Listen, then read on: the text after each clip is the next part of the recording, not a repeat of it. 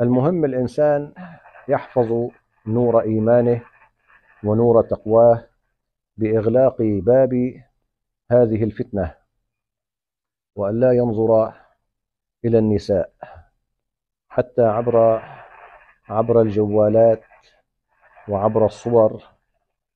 آه الله سبحانه وتعالى أمر أمهات المؤمنين رضي الله عنهن نعم وهن من هن في الطهارة. أعلى مجتمع في الطهارة مجتمع أمهات المؤمنين والصحابة رضي الله عنهم.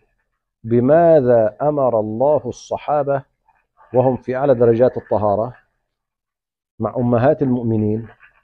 وإذا سألتموهن متاعا فاسألوهن من وراء حجاب. ذلك أطهر لقلوبكم وقلوبهن.